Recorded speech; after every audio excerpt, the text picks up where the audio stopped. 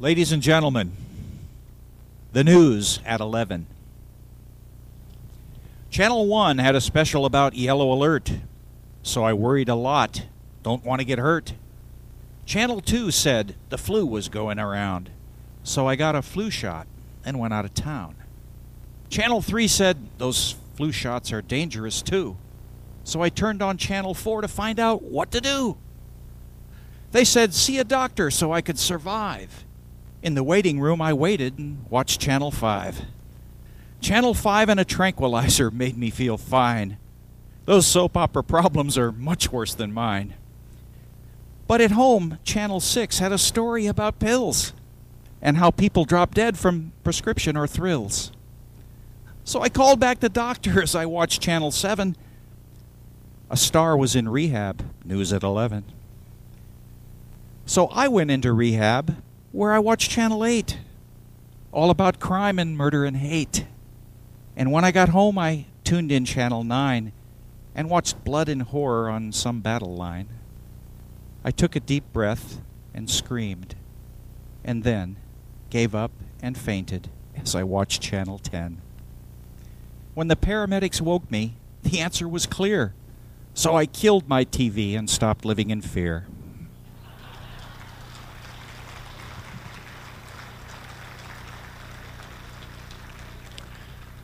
That's another one of the wonderful new poems from Laurie Boxer's new book, Swamp Gas. Um, these are available for sale at the Congress Book and Tape. Wonderful stuff. Laurie, are you in the room?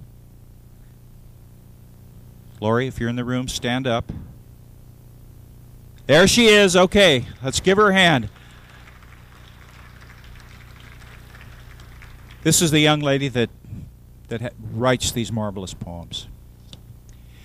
Okay, ladies and gentlemen, our next speaker, he doesn't need an introduction. I mean, he really doesn't. New York Times best-selling author. Author. He he had uh, his book Crossfire made into the film, as you all know, on the Kennedy assassination. Um, he's written the number one selling book ever on the alien phenomena, alien agenda. He's been deeply involved, of course, as a writer and reporter and in the journalistic field for decades. He is intimately familiar with the control of information and how you know how he can come up and do the kind of research that he does absolutely mystifies me.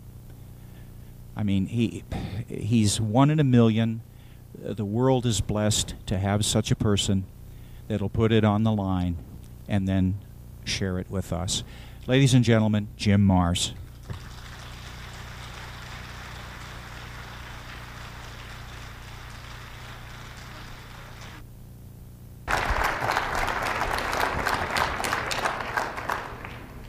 Um, hopefully, I'm on this mic, so that way I can move around. Okay. It is a distinct pleasure to be with you. There we go. It's a distinct pleasure to be here with you folks today. Uh, I guess from Texas we'd say y'all. If I was from a little further north, I'd say use guys. but uh, but, but uh, it really is because I kind of consider you all home folks. Uh, you know, I'm, I feel like I'm kind of here preaching to the choir. Uh, you people are the ones who come out of your homes, turn off that TV, that daily drumbeat of fear and, and uh, depression, and actually come out to try to find out what's really going on. So today I'm going to try to share some of this. We got a lot of ground to cover, and I may just get to rattling. So uh, if you miss something, uh, buy my book. yeah, a few, a few uh, unabashed uh, plugs here. Before I launch into the program, which is going to be about rule by secrecy, with uh, and for those of you who have read the book, uh, I've got a PowerPoint program here that I hope will uh, make it even be more graphic for you, maybe even uh, more understandable. Plus, I have a very, very important piece of information that is not in rule by secrecy, because I did not find this out until after publication. But before we do that, I want to tell you about something that I've recently come up with that to my way of thinking, is a true smoking gun uh, in the field of UFOs. Um, I recently, recently completed a, a uh, little documentary, Aurora, the UFO crash of 1897. Before Roswell, before the Foo Fighters, there was Aurora. And this one actually was documented in the newspapers of the time. Now, you will find an account of Aurora in my book, Alien Agenda. But at that time, I had gone into the old uh, Fort Worth Star Telegram into their microfilm and had, uh, many years ago, back about 1973, and had found the story. And like an idiot, I didn't copy the whole thing, I just jotted some notes.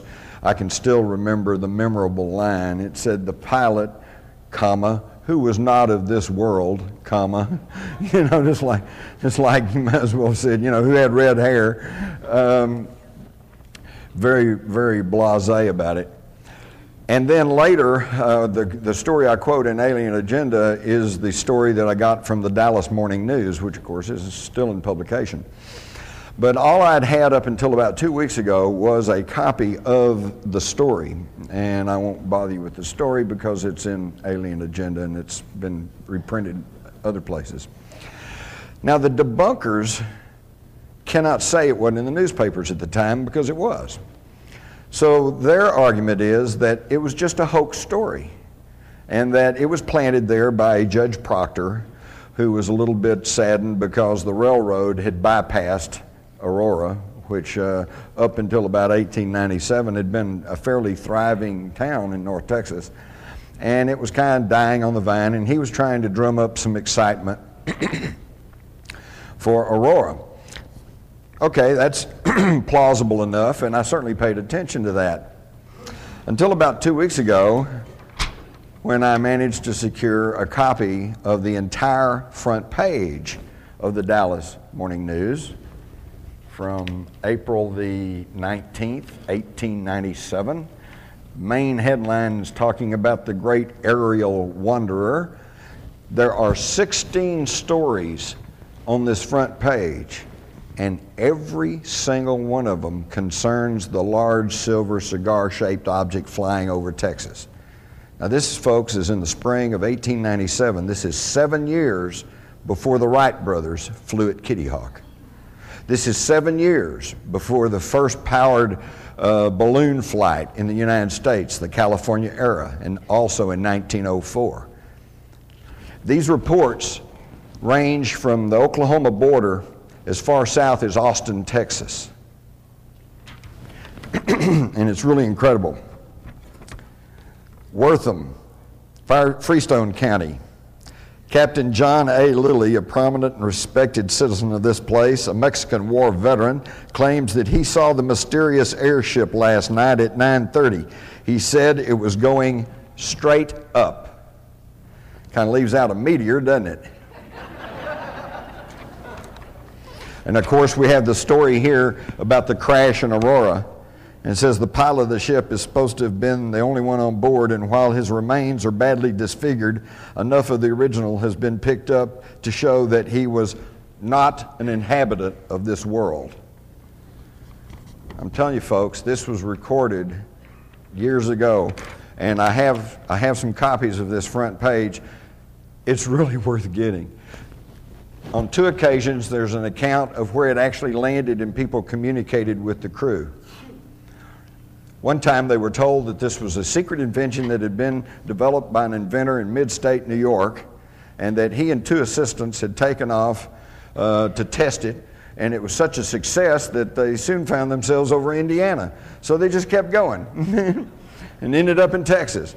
And they said, but now don't say anything to anybody. Don't, don't spread the word about this because uh, when we get everything patented, we're going to release this and it's going to revolutionize transportation.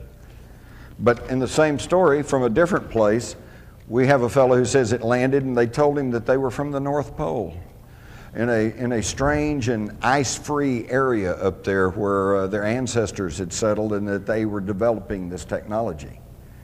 Now, an even stranger story, this one to me is a tip off that something's going on. and this is not in this Dallas paper, but in the old Fort Worth Register. There was a story of a railroad track inspector who was, it was getting late in the evening. He was about to turn back and head back to the city when he saw a bright light up ahead. And he went up to investigate, and he said there was a large silver cigar shaped object sitting on the railroad track, and that there was some crewmen around in blue uniforms. And um, said the captain came up and talked to him and told him that they had had to stop, make some repairs to their craft, and that uh, not to say anything about this because they were on a secret mission. He said they, uh, the, the craft was full of dynamite and they were going to go bomb Havana.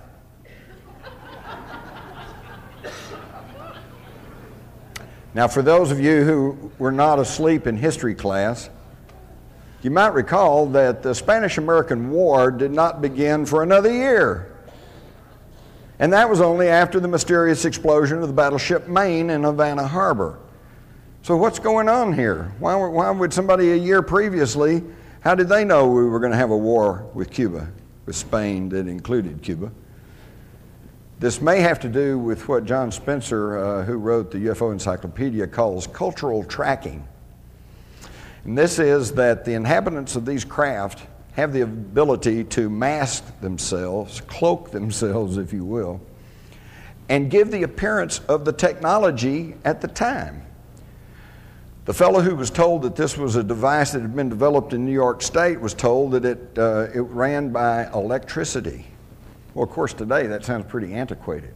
But keep in mind, 1897, rural North Texas, they didn't have electricity. Only big cities had electricity, and it was still kind of a new marvel. And uh, there's some support for this argument because early on, back in the 50s, when the contactees were first talking about being taken aboard these craft and stuff, they talked about these rotary dials with numbers on them, okay? Because that was our technology. Today, we have people, the experiencers and abductees, who say that they've seen these uh, um, LED things like the, like the watches and clocks we have today because now we have that technology. So it's really kind of an interesting aspect of this whole thing. But I wanted to share with you all the story of Aurora because it is becoming more and more documented in the tape about Aurora, and, and uh, I apologize, this is not a Hollywood production. This was uh, made on less than a shoestring but the information is there, including interviews with people, uh, descendants of uh, people in Wise County who, who were there and observed what was going on. And of course, these are available, and like I said, you can get a copy of this front page. If you have friends and relatives that are skeptics and said, why there's nothing there, show them the front page of the Dallas Morning News, 1897. Um, one other quick thing, I just have to put in a little plug here. I don't have to remind you of the war rattles and the saber rattling that's going on today in regards to uh, Iraq and also North Korea. I'd just like to quote you from President John F. Kennedy. And uh, this was back at the time of the Cuban Missile Crisis, when people were actually pointing real missiles at the United States. Now, if there was ever an excuse for us to threaten war with somebody, that would have been it.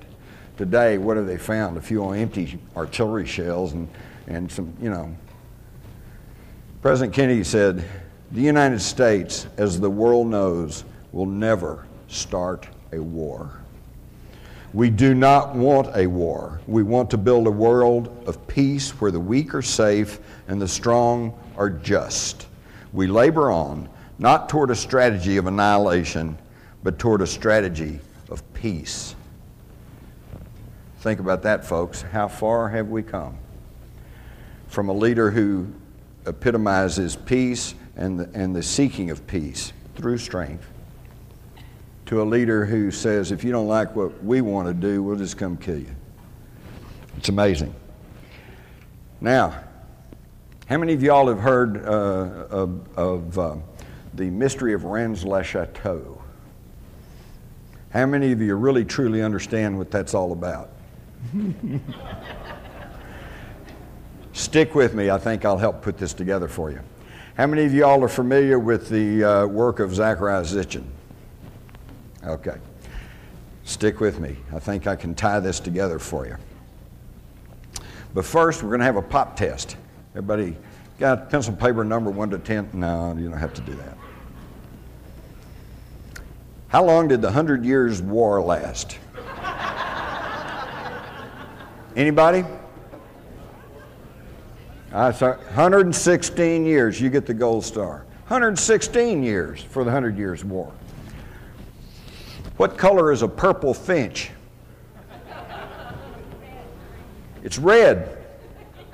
Okay? Which country makes Panama hats? Ecuador.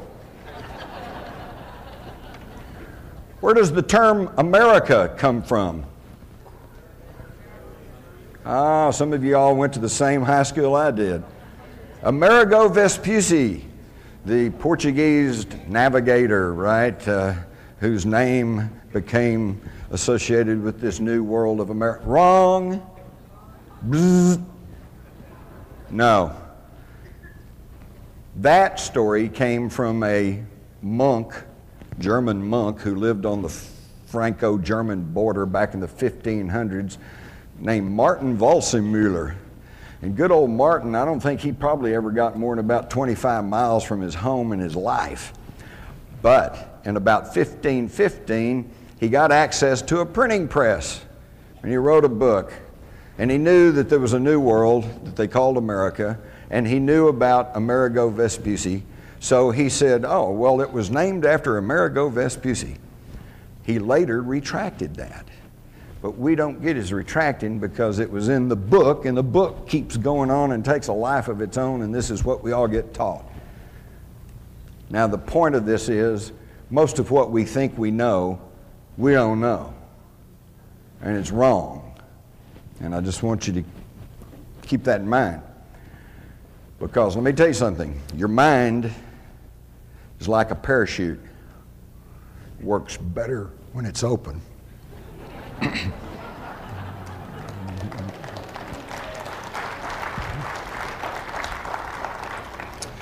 All right, now to try to hurry on through this. I do fine until I get up in front of people. I guess y'all make me nervous. You notice how nervous I am. Rule by secrecy, the hidden history that connects the Trilateral Commission, the Freemasons, and the Great Pyramid. Now, I hate going to places where they put up something and then they read it to you. Hey, thank you, I can read just fine. But I do want to read you this first quote, and then I'm not going to read you the rest. You can read them for yourself. But this one, I think, tells the story. And this is not a conspiracy theorist. This is not Jim Marrs's quote. This is Woodrow Wilson, a very powerful insider, an insider who was put into office by men connected to secret societies. He knew what was going on, and what did he write? Some of the biggest men in the United States are afraid of somebody. They're afraid of something. They know that there is a power somewhere so organized, so subtle, so watchful, so interlocked, so complete, so pervasive that they'd better not speak above their breath when they speak in condemnation of it. How much more do you want, folks? He's trying to tell us what's going on. Now, what I've done here and what I'm going to present to you all is a synthesization, easy for me to say, synthesiz- synthesization, a, a compilation.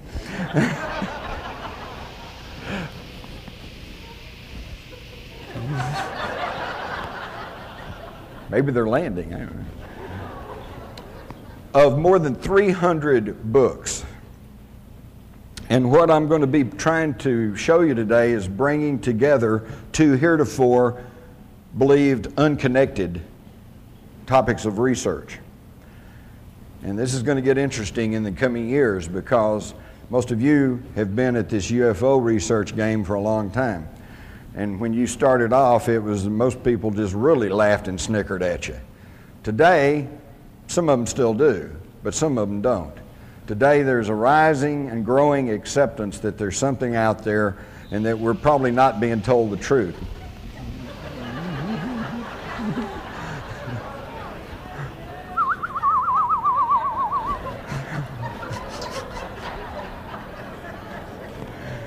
Oh boy.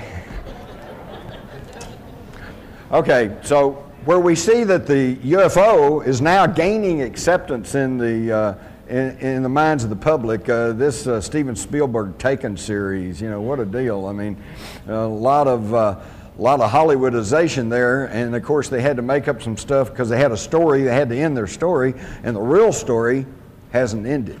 Okay. But yet, for those of you who've done your homework, you'll realize that about the first eight episodes of that show is, is fully backed by evidence, by testimony, and by documentation. So the idea of the um, UFO is growing in, in acceptance.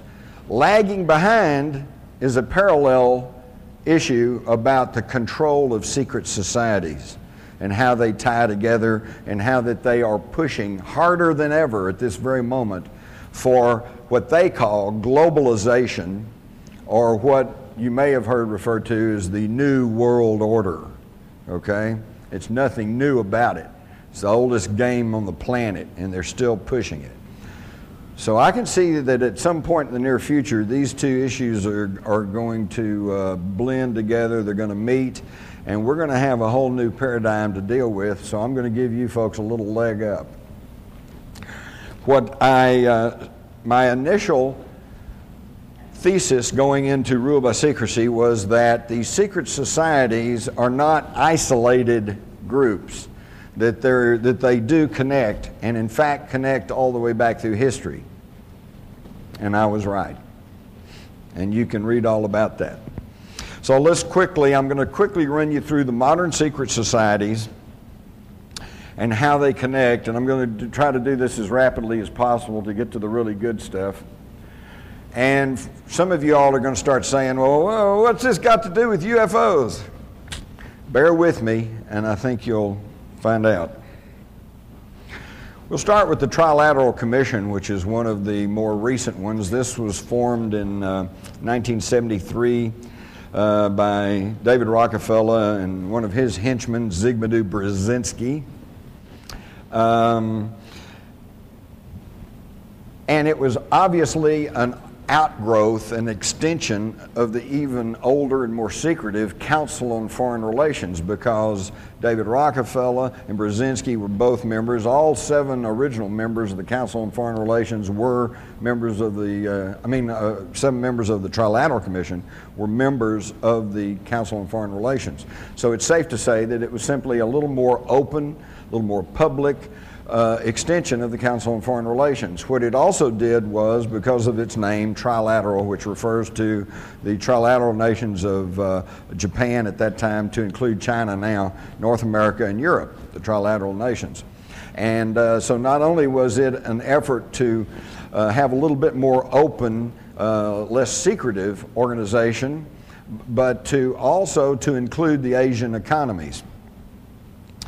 Uh, they put out various position papers, and I particularly like the one they issued in 1975, Democracy in Crisis, where they basically said and argued that, you know, there's a little bit too much democracy in the United States, and it's just really not good for business, so uh, maybe we need to curtail that a little bit.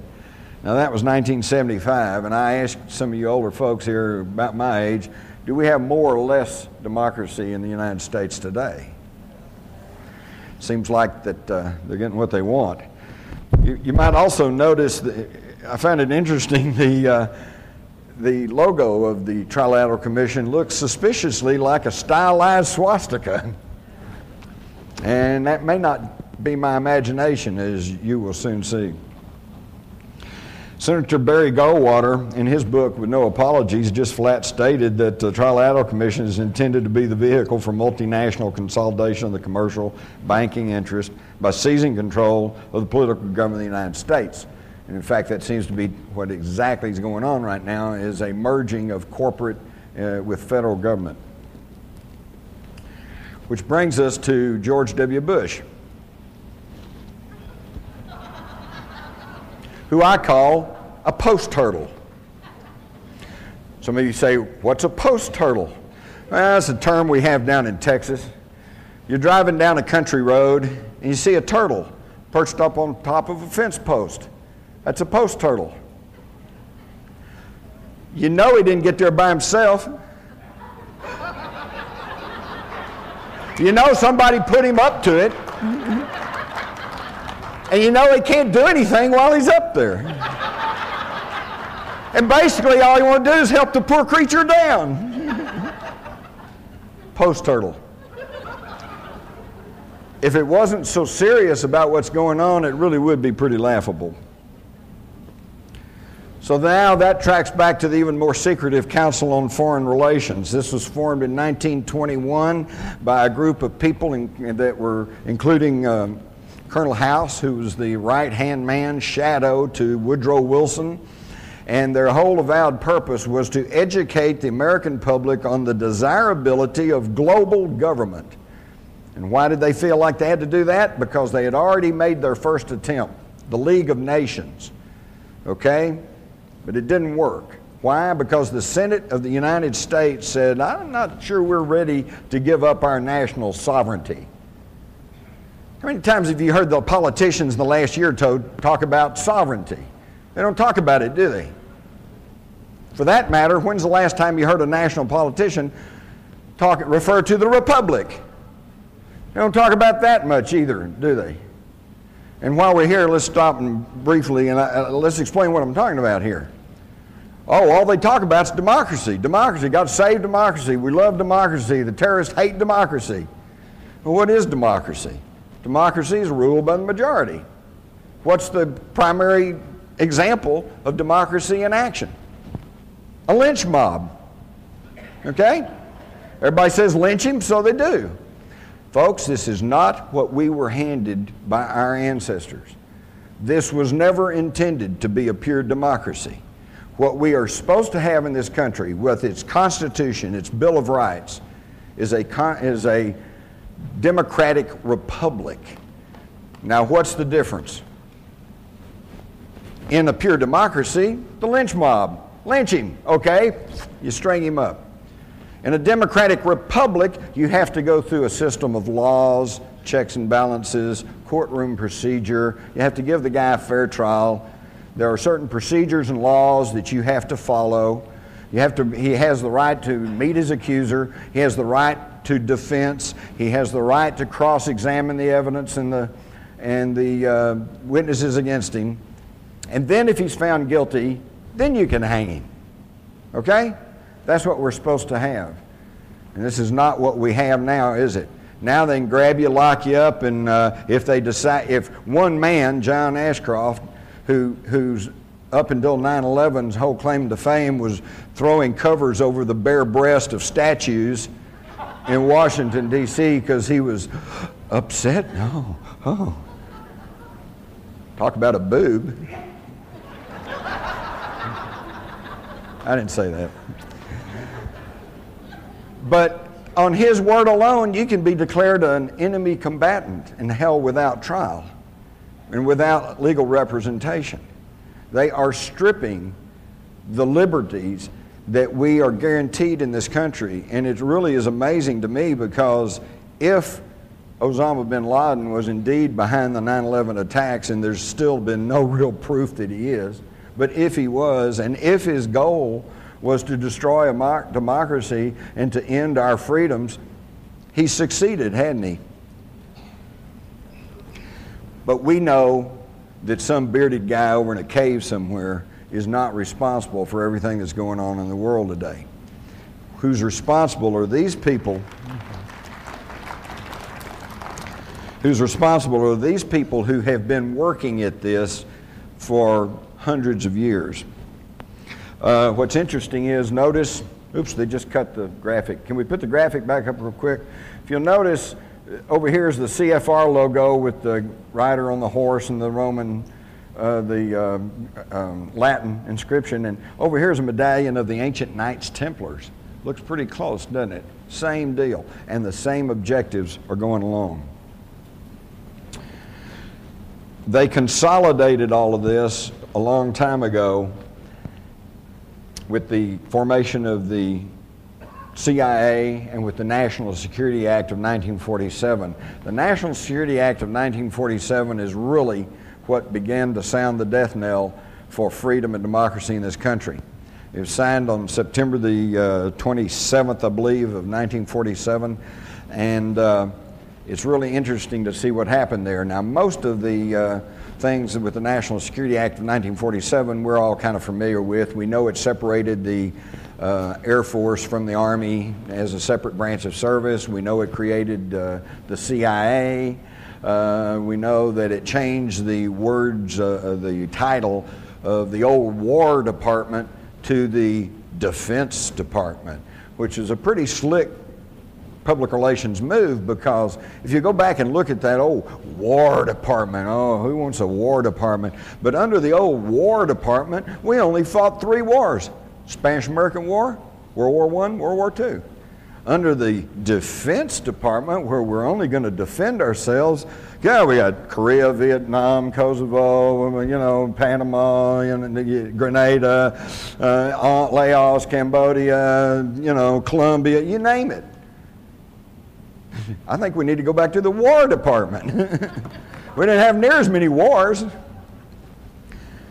But within these secret societies now, and everybody that's a member of the Council on Foreign Relations or everybody that's a member of the Trilateral Commission, they are not all sinister conspirators who are trying to take over the world, okay? A lot of them are just wannabes, you know, they want to be there, they want to be taking over the world. Or actually, I would describe it this way remember when you were in grade school? And the thing you really wanted most out of life was to be able to sit at the table with the cool kids in the lunchroom. Boy, if I could just be with those cool kids, maybe I could get a date for Friday night, you know? That's what you really wanted. Well, these are the people who are globbed onto these secret societies. Most of them are not on the inner core elite. They are just wannabes and they like their, they like to be next to the wealth and the power. Okay? But within each of these societies, there is a handful of people that, like, and one is David Rockefeller. He's in all of them, okay? Henry Kissinger, you know. There's certain ones who are at the inner core of all of these societies. They meet once a year uh, in a group known as the Bilderbergers. The Bilderbergers are so secretive that they don't even really have a name. They're called the Bilderbergers because they were first discovered by the public meeting at, uh, in um, um, Holland back in 1954. And they were founded by Prince Bernhard of the Netherlands, who had uh, previously been a Nazi SS officer. And by the way, any of you all have Texaco gas cards? you do realize that Texaco is now bought by Shell. And Shell is the, that's the royal family of Holland, the founders of the Bilderbergers. So the New World Order marches on. Of course, then we've got Skull and Bones. I think we all know that uh, Prescott Bush, the patriarch of the Bush family, and that uh, George Herbert Walker Bush and George W. Bush are all members of the Skull and Bones. Now, there are some who argue that the Skull and Bones is the secret society behind the secret societies and that they run everything. I'm not convinced of that. There are plenty of people who have been inducted into the Skull and Bones and who have elected not to follow through on all their contacts and have gone on to live very respectable and, and good lives, okay? The Skull and Bones, however, is a springboard that's where they take young men, they find the ones with ability, and more importantly, those that are compliant, and they groom them to become world leaders. And all you have to do is just go study about the skull and bones, and you'll find that there is an inordinate number of people who go on to take top government positions. Again, if this was really a free country, you'd think that we'd have some people from, you know, Southern Cal, University of Texas, Oklahoma, somebody. You know, there's got to be some smart people around somewhere. But these folks are always the ones that end up in power. Also, it has been established that the Skull and Bones is actually the Order 322. It is the 322nd chapter of the Illuminati. This was published in the New York Times. Now we get to the question of how come you don't know all this, and that gets back to the control over the media. First, you have to understand the media cannot control every, I mean, these people, these secret societies cannot control all the editors and all the reporters across the country. No, they control the media through the distribution of the information. Just in the past several months, there have been some massive anti war demonstrations taking place in California, in Denver, in Washington. And most of you have heard little or nothing about them. And when you did hear about them, oh, 30,000 people gathering, uh-uh. Try 500,000. There have been massive demonstrations in England and in Germany, and you very rarely hear about that. This is because they control not the editors and publishers, but the distribution of the information. And how do they do that? I've listed two here Time Warner and Disney. There's another couple that I could mention. Uh, Viacom is another one. Vivendi is another one. Clear Channel is now buying up all of the radio stations in this country. Clear Channel bought up Premier Radio not long back, and now two of its leading voices, Whitley Strieber and Art Bell, are no longer with us. Okay? And who owns Clear Channel? Well, it's connected to the Carlyle Group. That's Henry Kissinger and the Bush family. Okay?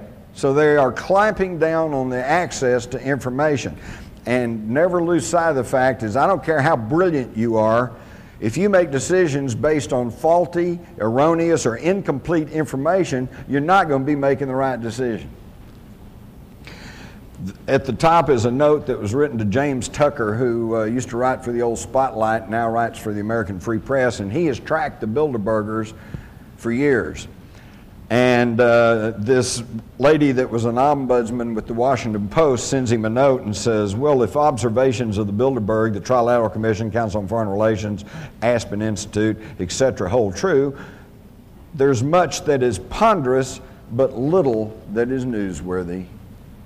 How's that for a condescending, unthinking response? Let me put it this way What do you think the news media's reaction would be? If all of the owners of the National Football League franchises were to meet in a big hotel secretly with armed guards all around it, won't let the media in, won't let anybody in. They meet there for about a week, and then they all come out and say, Sorry, I can't tell you what we talked about. Whew.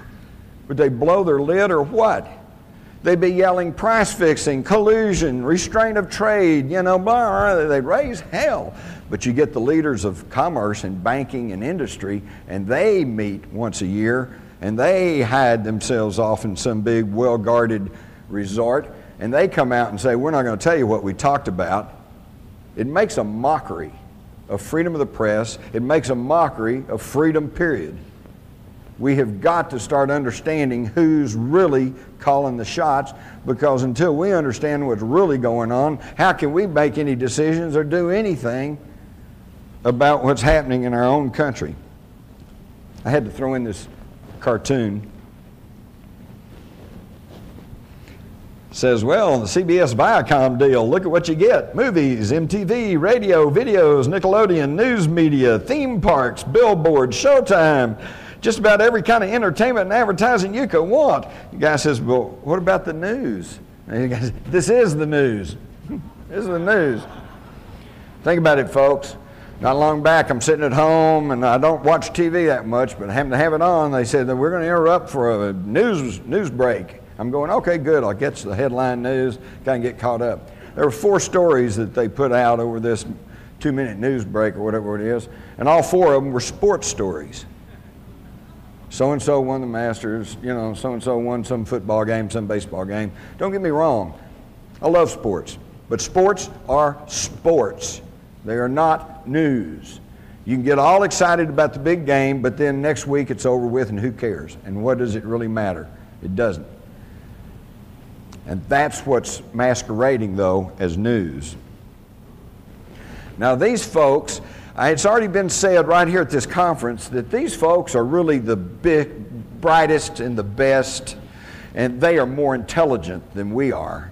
And it's only right and proper that they run everything because they only have our best interest at heart. Well, let's look back over just the past hundred years.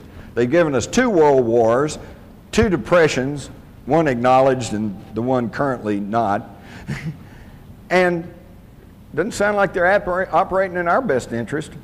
Not at all. They give us the Persian Gulf War. That was Daddy Bush's war.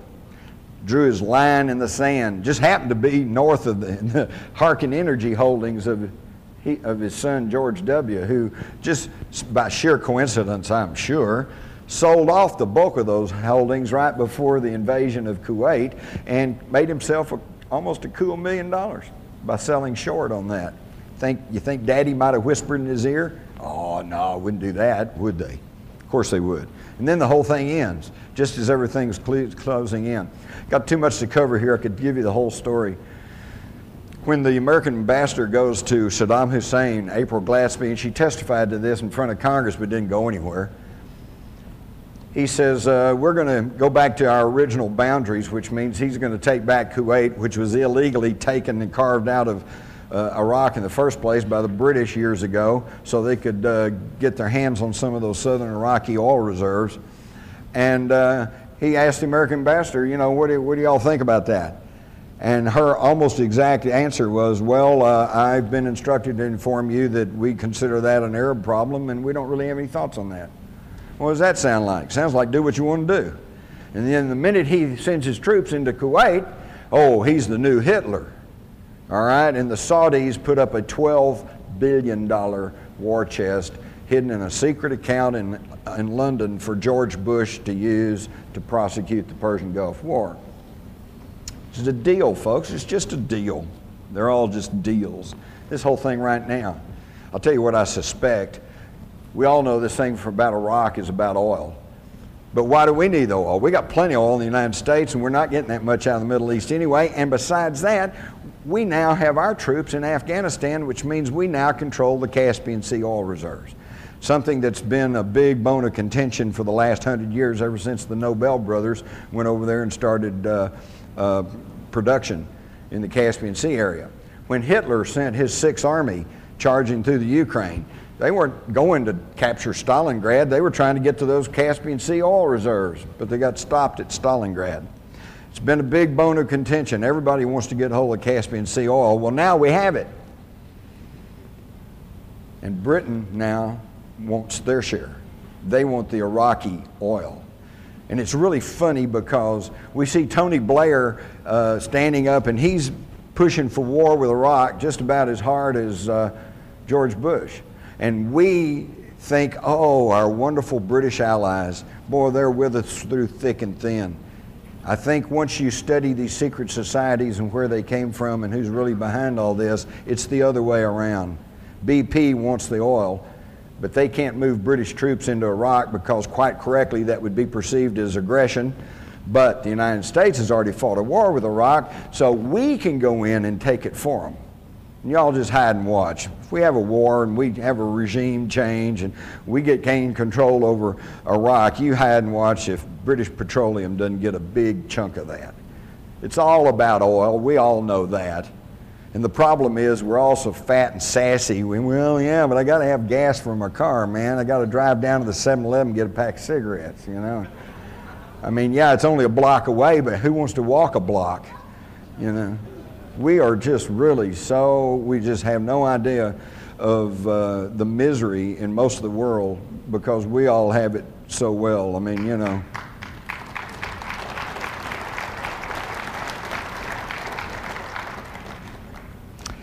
So it's all about oil, and my big complaint there is, is we don't need the damn oil, okay? We don't need to be on a petroleum energy basis anyway. There's so much other things we could be doing. Uh, do you realize that with just some tweaking of the intake uh, jets in your carburetor, you could be running your car on hydrogen? And hydrogen does not cause any pollution. And hydrogen is the most plentiful substance on the planet. Think about it. This is a water planet. H2O, two parts hydrogen, one part oxygen. We could be burning hydrogen. We don't even need the damn oil. But no, we're going to go over there and kill a whole bunch of people and probably our own troops. And look what's happening with the Gulf veterans right now. They're all coming down with all kinds of sicknesses, probably because of the contaminated vaccines they got. Also, the depleted uranium shells that were lying everywhere, giving them a radiation dose that destroys their immunization system. Not to mention the, the oily smoke and petrochemicals hanging in the air. And do you think that a new war with Iraq is going to be any better? Never mind the massive casualties that Iraq's going to suffer. Wait till our guys come back in we another 20 years and they'll be raising hell about their, their health problems. And uh, what's the government going to do about it? I'll tell you right now, not a damn thing. Let me tell you something. When I was in the Army, this just really gets my blood to boiling when I think about this. When I was in the Army back during Vietnam, we'd get C rations, and in the C rations, along with the powdered milk and the, this, that, and the other thing, was a little packet of cigarettes. You get five little cigarettes. We always thought that was cool, free cigarettes. And those who didn't smoke would swap them around to those who did, and they, it was almost a medium of exchange. And that practice goes way on back even through World War II. Where do you think all those guys in World War II got the smoking habits? Because the Army gave them free cigarettes. And now, under the Clinton administration, when some of these guys who put their life on the line to fight for freedom and democracy in World War II, and they start coming down with emphysema and lung cancer, and they go to the VA under the Clinton administration. They ruled that that was a self inflicted disease and that they would not treat the veterans. That's shameful, folks. That's shameful. You give your soldiers cigarettes all through their career and then you won't treat them when they get a health related problem? Unconscionable. But that's what happens when you let these secret society creeps run your country. Going back past the Gulf War, and now we get back to Vietnam. And uh, Lyndon Johnson and his wise men, okay, he surrounded himself with about 12, 14 guys, and they were every one of them council on foreign relations. In fact, Vietnam, the thing I never could quite figure out is why were we fighting 9,000 miles away from the shores of the United States? Well, let me tell you why because right after World War II, the Council on Foreign Relations published some papers that were saying we needed to gain control over the mineral resources of Southeast Asia, which at that time was called French Indochina. All right, but then in the spring of 1954, the French got defeated at the Battle of Dien Bien Phu and they withdrew from French Indochina. Within weeks, John Foster Dulles, a founder of the Council on Foreign Relations, and who was then Secretary of State to Dwight Eisenhower, goes to the Philippines and creates something called the Southeast Asian Treaty Organization, SEATO. And he later explained that he did that to give the American president the legal precedent for intervention in South, uh, Southeast Asia. That was the beginning of the whole thing. Now, is he acting on the best interest of the United States, or is he acting on the best interest of the Council on Foreign Relations that wanted control over those mineral resources? And of course, I don't have to tell you what happened. 58,000 American lives later, we finally slunk away with our tail between our legs, defeated by a bunch of guys in, in rubber sandals, thanks to the wise men. And in the middle of this, when our guys are dying in the jungles of Vietnam, Who's over in Russia but David Rockefeller meeting with Khrushchev?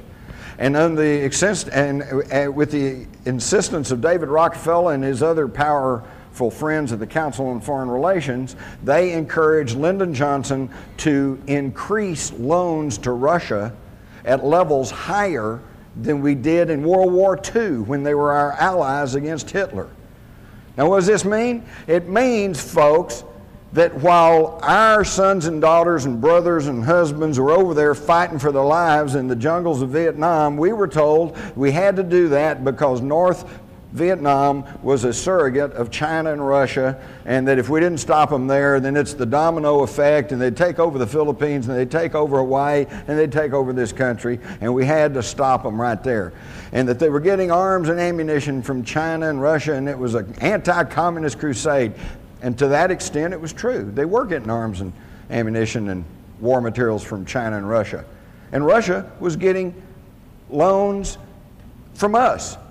And they take our tax supported money and they'd build facilities like the Kama River Truck Factory and they'd crank out war materials to ship to North Vietnam to use against our guys. Does that make any sense to anybody? But that's what goes on, folks, and it's still going on. And unless we start waking up, it's going to continue. if you stop and think about it, gunfire is uh, uh, pretty well decided every national election from 1964 to 1988. 64, Lyndon Johnson wins on the sympathy because of the JFK assassination. 68, Nixon wins after uh, uh, the uh, reaction to the Martin Luther King and Robert Kennedy shootings. Then in 1972, uh, George Wallace looks like he's going to pull votes from Nixon and he's shot. 1976, uh, Carter uh, uh, wins after there were assassination attempts on Gerald Ford. And then in 1980, Reagan is li- uh, elected after an assassination attempt on Jimmy Carter.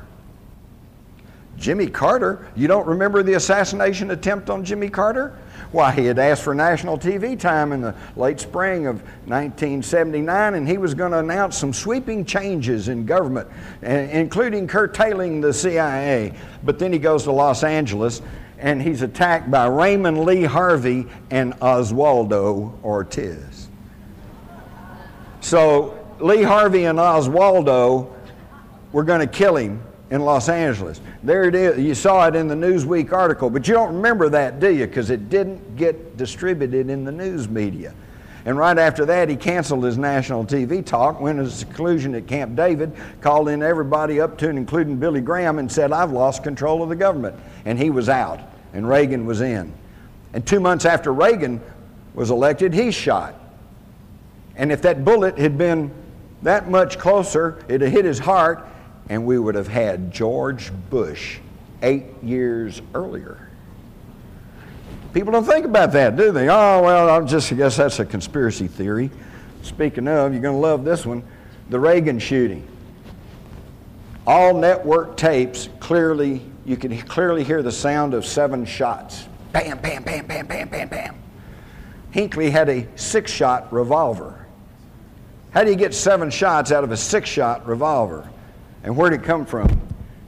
Up there, circling red, the bullet that struck Reagan was at a downward trajectory. Go back and check the media, they, they accurately reported that. And Hinckley, though, is standing level with him over here in the crowd, back over here beyond that policeman. Up here is a sliding glass door with a human figure crouched behind that door. Was this the person who actually shot Reagan? We don't know because there's never any investigations because all that's just conspiracy theory. But of course, Reagan was shot, and for months, the person who was really in charge was George Herbert Walker Bush.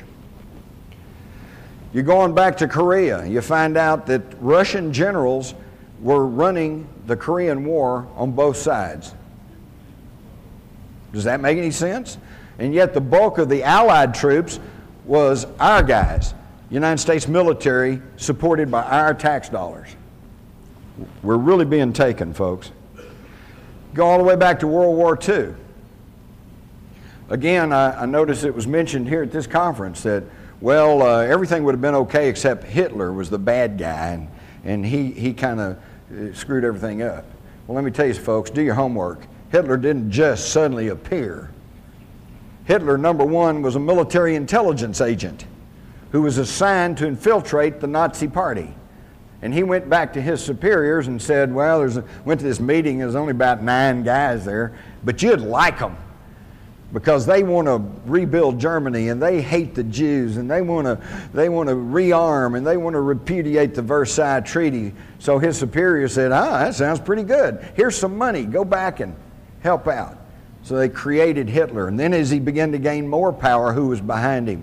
Another secret society, the Thule-Gesellschaft, or the Thule Society, made up of some of the leading industrialists, leading intellectuals in Germany at the time. People, and also people who had an intimate working knowledge of the occult. All right? So now we can see that all of these secret societies have been working along. And it was the same thing back during World War I. Same people ran World War I. It's amazing, but, uh, but uh, at the time of the Russian Revolution, where was Lenin? He wasn't in Russia, he was in Switzerland. Where was uh, Leon Trotsky, the, the communist philo- key philosopher? He wasn't in Russia. He was in New York City working for Wall Street capitalists. And they gave him money and they gave him uh, all kinds of support to go into Russia and take over a popular uprising and change it into a communist government.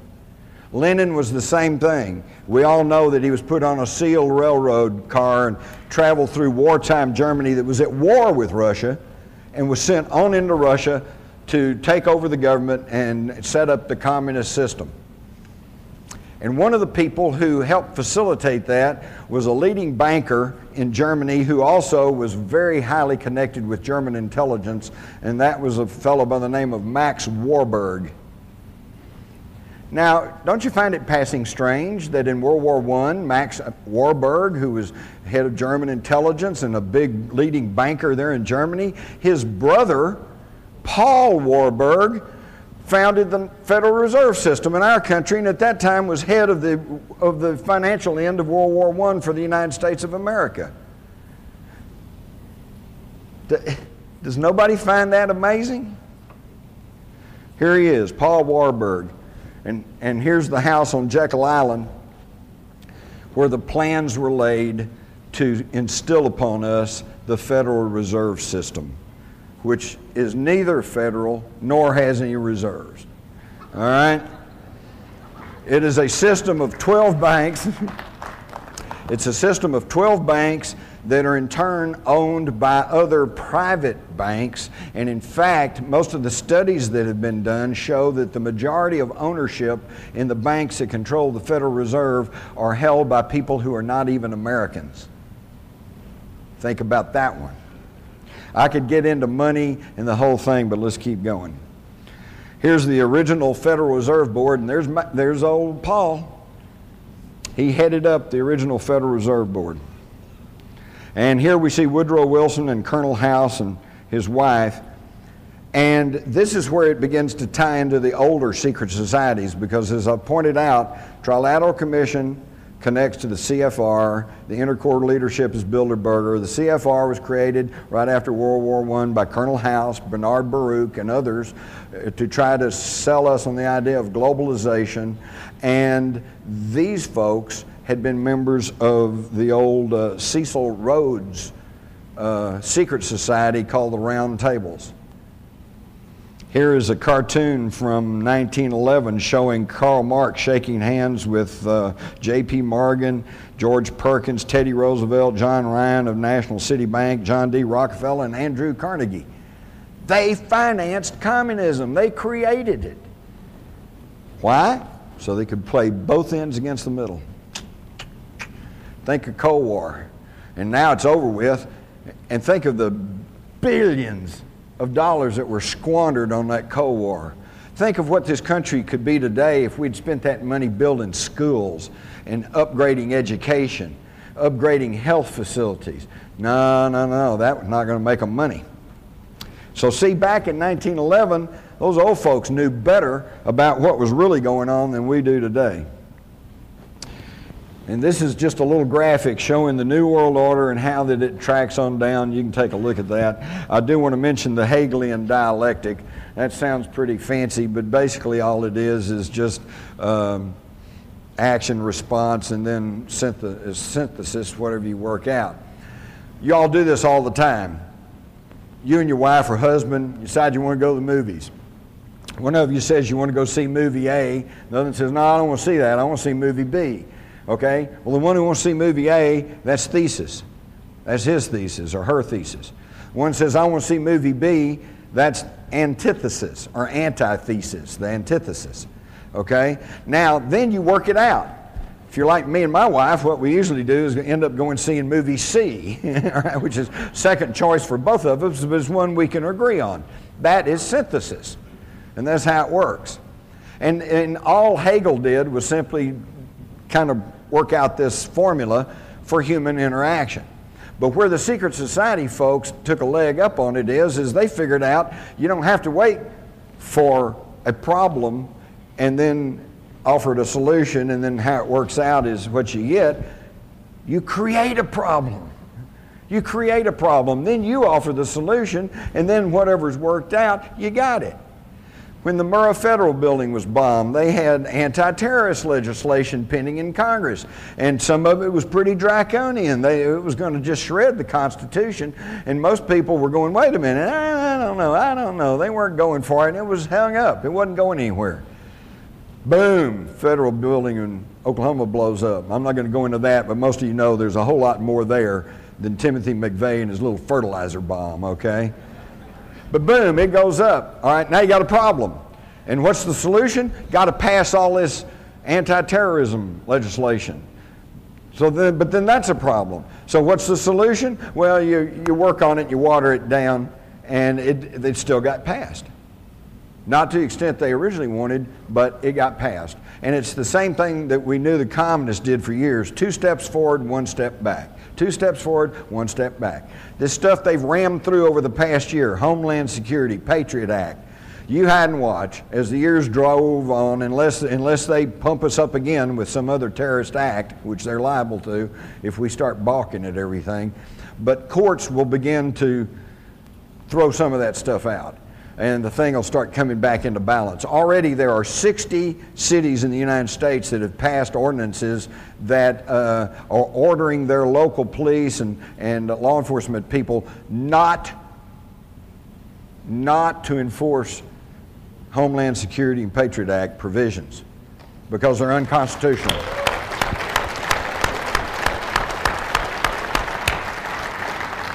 Of course, you don't hear much about that through the mass control corporate media, but it's happening, and there will be a backlash. It will come, and things will balance out a little bit. But see, it's already on the books. And, and this Homeland Security thing, once you create that whole level of bureaucracy, I guarantee it'll never go away.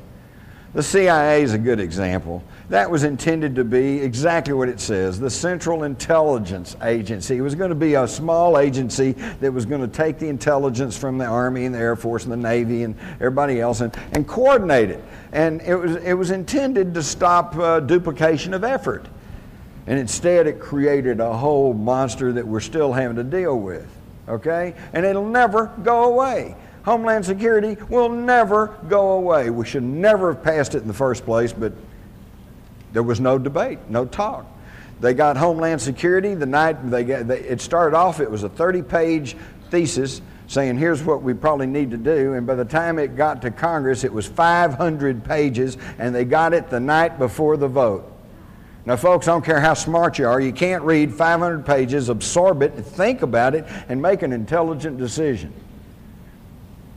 And I'll tell you for that one fact alone, and I'm not even going to argue the merits of Homeland Security, but for the mere fact that your representatives passed a law that they hadn't even read, I think should be cause enough for a recall. You ought to throw every one of them out.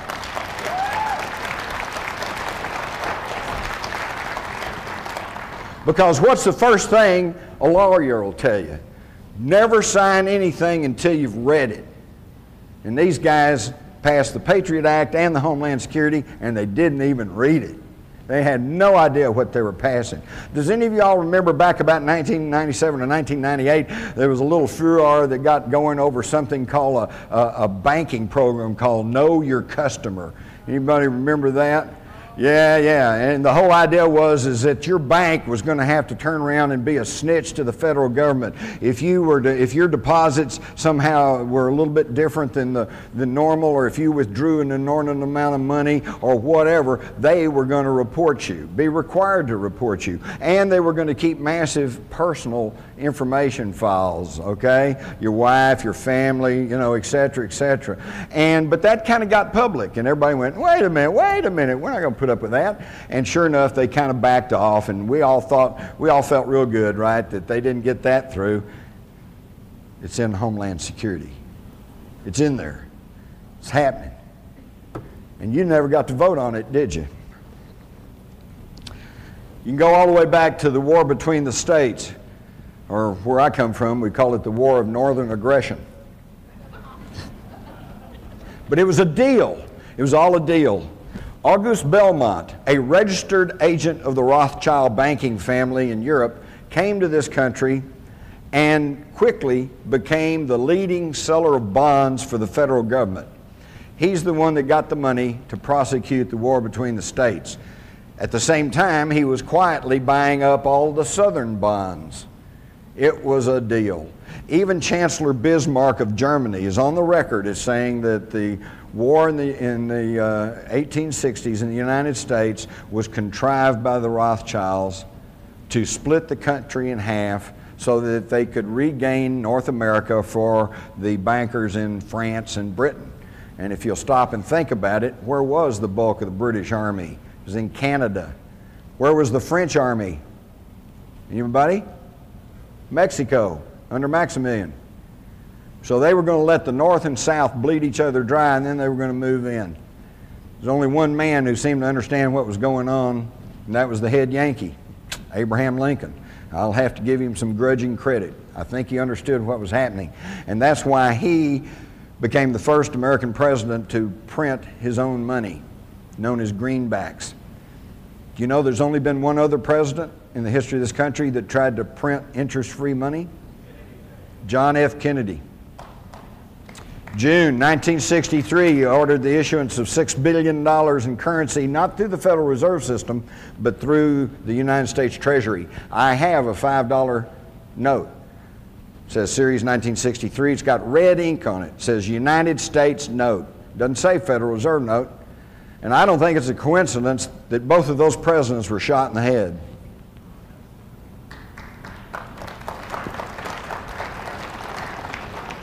So now we can see what I call my pyramid of power. That's us down at the bottom. the poor, long suffering public. Over us is the low level political structure. There's your local city council, school board, and stuff, most of whom are good people trying to do a difficult job. A Few snakes in there, but you know, as we learned in the Army, there's always 2% that won't go along with the program and your mass media. And this thing maybe that disturbs me most about the mass media having worked in it. It's not that they're bad, it's not that they're liberal, it's not that they're conservative, it's that they're dumb and they're lazy. Okay? They don't want to work, so they will not go out and really pursue a story or look past the superficial explanation. They just take the government handout and they run with it. And this really bothers me because, you know, I think think about it in our own personal life. Um, if, if you have a good friend and you find that friend is lying to you, then that upsets you. And, but that's a friend, so you try to forgive them and you try to rationalize and think, well, maybe they just didn't understand. Then you, get, then you catch them lying to you again. Well, now it's going, boy, I don't know. Third or fourth time they lie to you, they're no longer your friend, are they? You, uh, I used to just say, I don't want to have anything to do with that person. He's a liar. Well, the government has got caught lie after lie after lie after lie, and still they come out and say something, and the news media just runs with it as if that's the gospel. And then it takes six months, six years, 40 years for us to find out that it was all a big lie.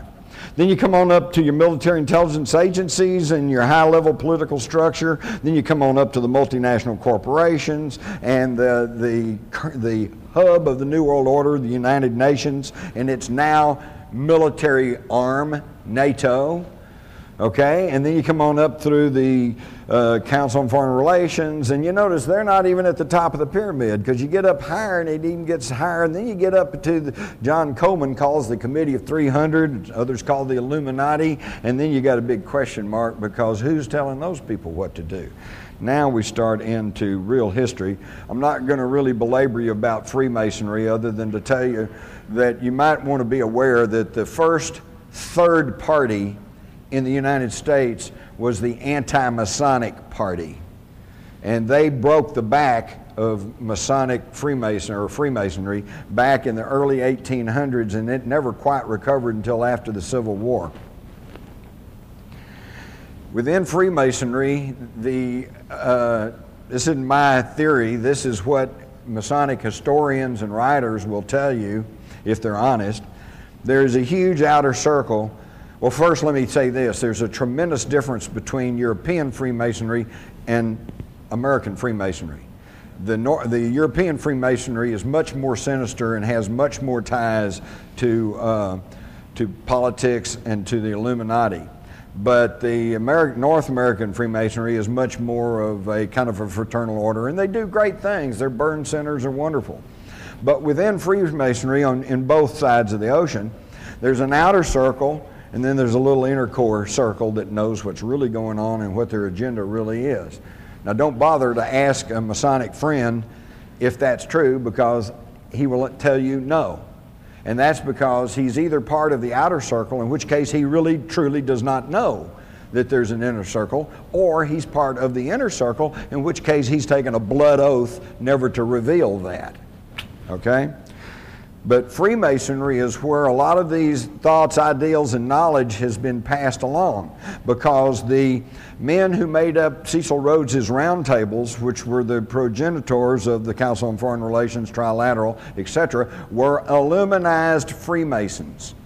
They were Freemasons who had been instilled with the knowledge and with the agendas of the Illuminati. And what was that? Where did they think they got all this from? Well, here's Manly Wade Hall, uh, a philosopher, a much studied occultist, and, and a very high ranking Mason. And he says, In the remote past, the gods walked with men, and they chose from among the sons of God the wisest and the truest and these they labored with, preparing them to carry on the work of the gods after the spiritual hierarchies themselves had withdrawn into the invisible worlds. With these specially ordained and illumined sons, they left the keys of their great wisdom. These illumined ones founded what we now know as the ancient mysteries. George Washington, big Masonic. So they're passing along the ancient mysteries through Freemasonry. By the way, if you think that the Illuminati is just something you can laugh at and just some kind of boogaboo. Here's a letter in 1782 from George Washington where he said, It was not my intention to doubt that the doctrines of the Illuminati had not spread to the United States. On the contrary, no one is more fully satisfied of that fact than I am. These guys knew more about what was going on than we do today with all our modern technology and all our electronic communications. Uh, we could, I could spend a whole program talking about Washington, D.C. and the layout of the streets and how it was all built by Masons and that how the, uh, the uh, floor plan, ground street plan of Washington parallels Virgo, which has always been associated with the Egyptian goddess Isis. Okay? So these people, and by the way, if, you, if you're not aware of this, some of you are, some of you aren't. Every time there's a space launch, okay, there is, it's always at a certain time and in a certain manner to conform with astrological numbers. Okay? Somebody somewhere still has a great concern about the stars and what's happening. All right, there in, in Washington, D.C., there are 23 major zodiacs in that city, more than any other city in the world. One other thing you're going to love, I don't think it's, no, it's not on this map. In the earliest plat of Washington, D.C., all the lots are numbered except one. You get up to uh, 665, and then it jumps to 667, 668. So what's missing? 666. 666. And guess what sits on that lot today? The capital of the United States. Now, it's accepted by historians that the French Revolution was fomented by the Illuminati. And here's a picture of Adam Weishaupt, who founded the Bavarian Illuminati, and he was only carrying on traditions and knowledge that came from either even much older uh, uh, things. And I think it would be worth quickly to look at the 10 steps offered by Karl Marx in his Communist Manifesto. And if you'll compare this to Illuminati writings, you'll find that their goals have always been the same. And, and as I read these, I want you to think about where we are in this country today in relation to this topic. Abolition of private property. Not there yet, but they're working on it. Now we got wet zones and United Nations zones and whatever. A progressive or graduated income tax. Well, we got that. Abolition of all inheritance. They're working on that. Confiscation of property of dissidents and immigrants. Homeland Security's got that taken care of. Creation of a monopolistic central bank. Well, that was done back in 1913. centralize all communication and transport. Well, see, when Karl Marx offered this, he was thinking in terms of state control. Today it's corporate control. And instead of the state running the corporations, today I think in this country it's the other way around. Control of all factories and farm production. Again, corporate control. Central ownership of capital with deployable workforce. That's us. Oops, got to, got to move from Silicon Valley, no more jobs, and got to go somewhere else. Blur the distinction between rural, country, and cities. Boy, that's being done. I moved to the country 22 years ago. It was a wonderful little place. Now I go down there, there's McDonald's, Sonic, Krispy Kreme donut shop. You know, might as well be in Fort Worth or Dallas. Free public education for all children, which on the surface of it sounds like a wonderful idea, and I'm all for it. I think every single kid, no matter where he comes from, no matter what color he is, no matter what, should have a shot at learning the, the three R's reading, writing, and arithmetic. But, folks, that's it. After that, if he has aptitude, he should be able to go on. If he doesn't, he should go to trade schools. This thing, education has turned into a huge monster. And look what's going on in education today. And look what, you stop and check what they're being taught. And, and today, they're not even being taught. It, it, what's important is they have to feel good about themselves. That's why we, they're trying to do away with grading systems. That's why they're trying to do away with the SATs and all like that. Well, we don't want somebody feeling left behind because they, they can't pass those tests. We want them to feel good about themselves. Well, all I can say is how good about themselves they're going to feel when they're 50 years old and all they can do is sit on the street corner and sell pencils. You know, you got to have that education. And they're not getting it. The, the dumbing down of America is not just a catchword, it is actually happening. So, all of these things that were advanced by the Illuminati long before uh, even uh, Karl Marx uh, are all agendas that are still being pushed along on us. And where did they came from? They came from the Knights Templars, who built these wonderful cathedrals such as Chartres that has stained glass in it that is so luminous that modern science cannot explain how they do that. Here's some of the stained glass from, uh, the, from Chartres, and you can also see the, uh, the uh, similarities between the Chartres at the bottom and uh, the Mosque in Jerusalem's Temple Mount. They brought back knowledge from the Middle East. Again, look at the striking similarities between these Egyptian uh, artifacts and artifacts in, in Jerusalem. Uh, you've got a black Madonna that you still find in southern France compared to uh, Isis. Uh, over here, you've got the winged uh, person from uh, Egypt and another one that was found in a 9th century BC Jewish palace. It's all the same information, folks. It's all the same. We've been taught that here's all these different empires and civilizations. It's all a continuation. Uh, this is a great one. At the top, of course, you can see the famous Egyptian wing disk that Sitchin and others says probably represents the planet Nibiru. and in bottom is a crop circle. Probably a hoaxed one, but it uh, shows that somebody's still thinking in terms of the winged disk. Now, this brings us to the mystery of Rennes le Chateau. And for those of you that have read Holy Blood, Holy Grail, the Messianic Legacy, and all like that, they go into this in great detail, but they never really, really quite just tell you what it really is, other than the fact that there apparently is some fabulous treasure buried over in the, in the caverns and cave systems that honeycomb the foothills of the Pyrenees there in southern France. And I was there two years ago, and it is an amazing place. It really is, and the stories are all there. Poussin, the artist, apparently was onto some of these secrets because in this painting up here, circled in red, he seems to be giving us a fleeting glimpse of what? The Ark of the Covenant. So there's some, there's all of this knowledge that's being passed along. Here, here is the, again the, the Masonic and zodiacal uh, street plans of Washington compared to the same. You see the same geometric designs being used to build Rennes-le-Chateau. Again, we see the same knowledge being passed down. Here's what you probably don't realize Rennes-le-Chateau is on the far left corner over here, and if you connect these holy sites, you have a geometric pentagram that encompasses a 40 mile circumference area.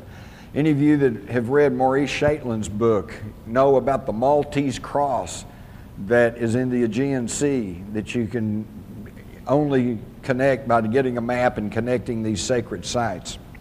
Again, ancient knowledge passed along.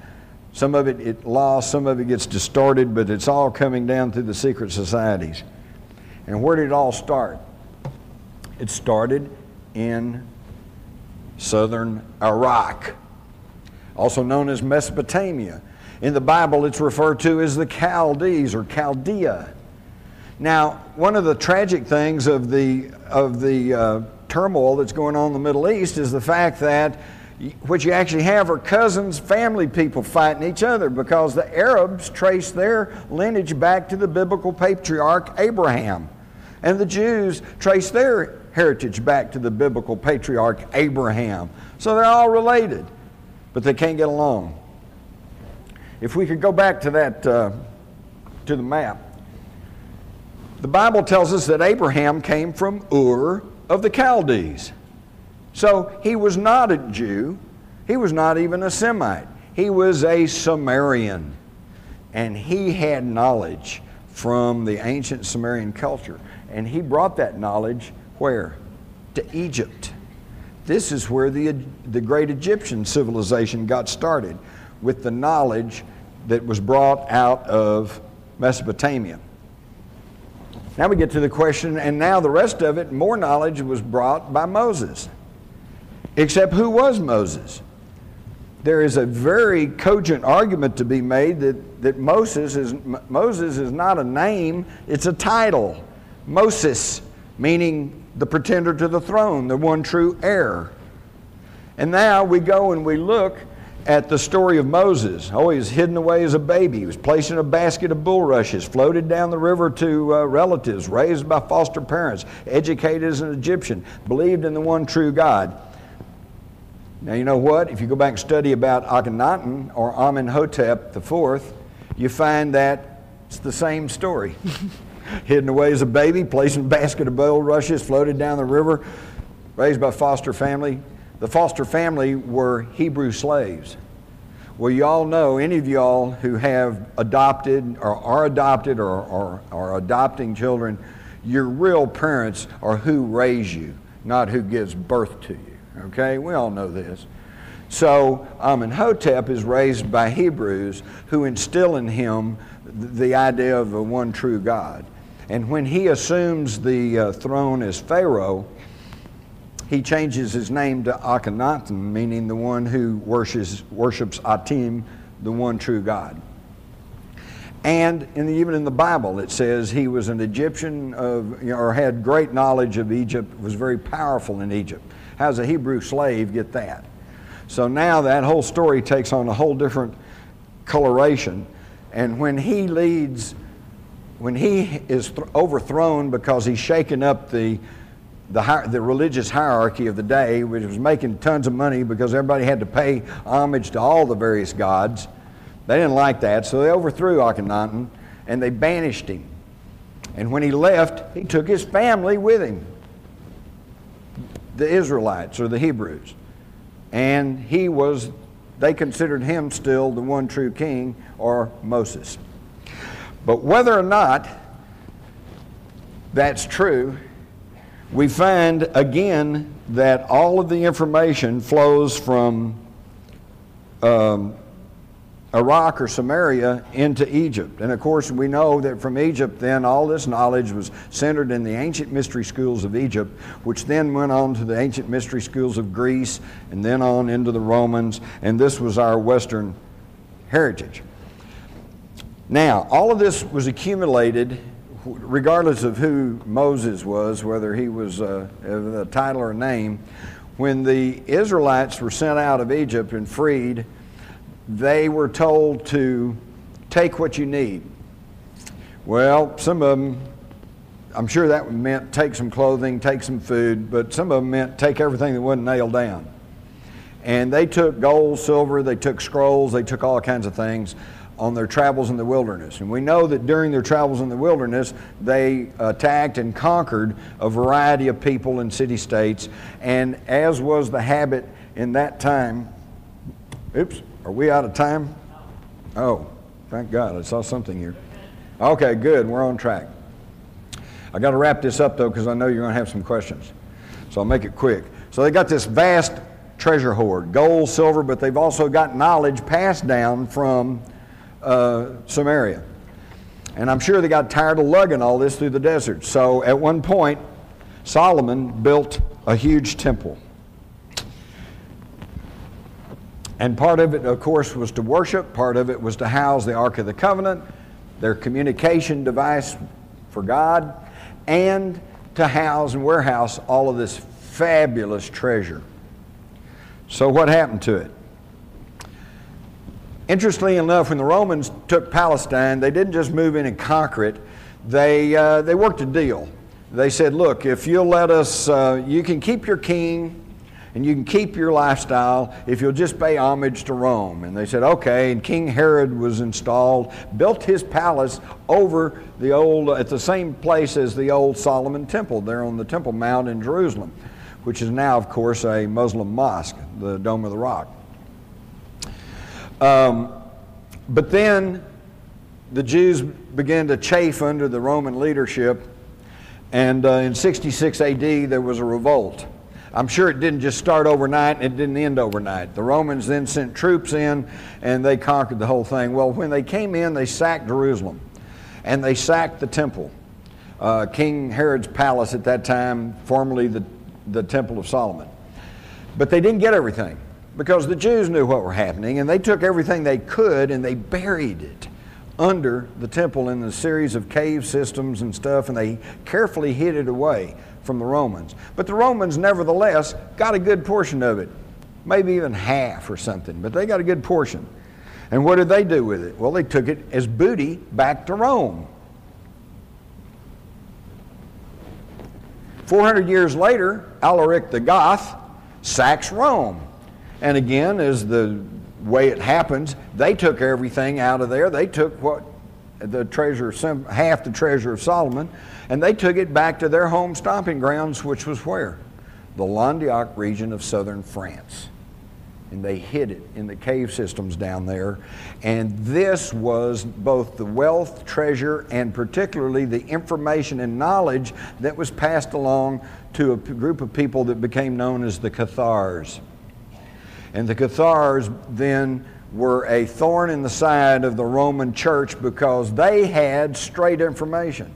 They had information that went contrary to what the Roman church was trying to put out, and that's why they never went along with their program. This, of course, gave rise to the Albigensian Crusade, where the Pope sent a papal army through the Languedoc region and murdered everybody that was suspected of being a Cathar. That's where the expression got started, by the way, when they besieged the town of Béziers. Uh, they sent a message back to the Pope and said, How are we going to know the Cathars from everybody else? And the Pope is supposedly told him, he said, Well, kill them all and let God sort them out. And we've heard that same quote. I heard that during Vietnam. You know, how do we tell the VC from the Vietnamese? Kill them all, let God sort them out.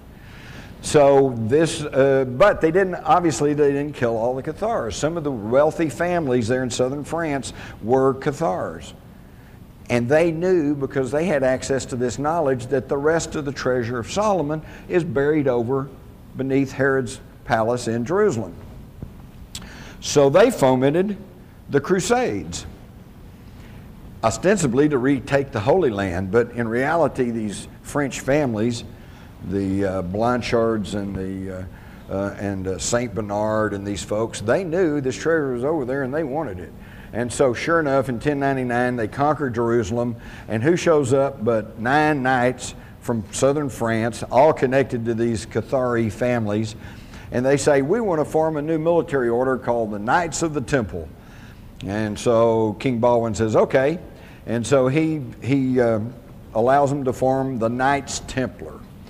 And they were supposed to be guarding the roads there, but they never did. What they did was excavate under the uh, temple and regained the rest of the treasure of Solomon. Again, not only a treasure of gold, silver, and precious stones, but a treasure of knowledge. And they hauled it from Jerusalem back through Rome and back into the Languedoc region. And now, at this point, the treasure of Solomon is reunited and hidden away in southern France in the area of Rennes-le-Chateau. That's what the mystery is all about. That's the treasure. Now, whether Father Saunière ever actually found the treasure is open to question. I suspect not. But he knew that that's what it was all about. He knew that this was in the right area, and that's why he was suddenly wealthy and all the strange things went on with Rennes-le-Chateau. And the, this was just a picture of the knights uh, that they showing their Maltese cross. And of course, then the Pope goes after the Knights Templars because he knows that they have dangerous information plus wealth.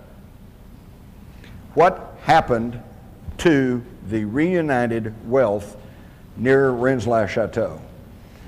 In March of 1944, Otto Skorzeny, the guy in the cap with the binoculars, leads a battalion of SS troops to southern France, working off of the notes and, and publications of a German named Otto Rahn, who had been to Rennes-le-Chateau several times in the 20s and 30s and had working closely with Heinrich Himmler and his SS group that was heavy involved in the occult. They felt like they knew where the treasure was, and on March the 16th, 1944, uh, they send uh, the Germans into the, they couldn't do it before then because southern France was part of Vichy France uh, and, uh, and technically was supposed to be free France. And they didn't want to cause any more tr- trouble. But in September of 43, uh, Rome fell and Mussolini was deposed and at the same time that the Germans rescued Mussolini off the mountaintop, they also uh, poured into southern France and took over the whole country. So now they're able to freely operate in France, and they sent troops down there in March of 44. He sends a one, world, one word telegram back to Berlin on March the 16th that says, Eureka! I found it. The greatest, most fabulous treasure in the history of the world, both of riches and of knowledge, is now in the hands of the Nazis. They took it back to Berchtesgaden, which you can see the diagram here has an underground labyrinth of hidden systems and caves and bunkers and everything else. But it probably did not remain there. It was taken out of Germany on something called Adlerflug or Operation Eagle Flight. This was instigated in August of 1944 by the head of the German Central Bank and the head of the IG Farben Combine and Martin Bormann, who by that time was running the show. Hitler was pretty much over the edge with megalomania plus all the drugs that he was being fed. These guys took the combined wealth of Europe that they had looted plus Solomon's treasure and they created 750 corporations all around the world.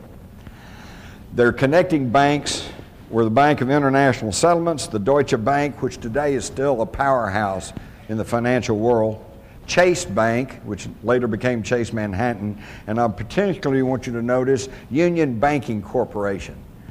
Because in 1942, one of the chief stockholders of the Union Banking Corporation was prosecuted in this country by the Justice Department under the Trading with the Enemies Act and they accused him of being nothing but a financial frontman for Hitler and the Nazis.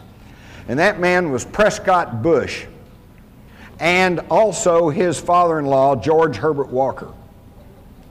So when you hear people say that these people running the country today are a bunch of neo Nazis, I want you to stand up and say that is not so. There's nothing neo about them, they're the real old Nazis. Mm-hmm.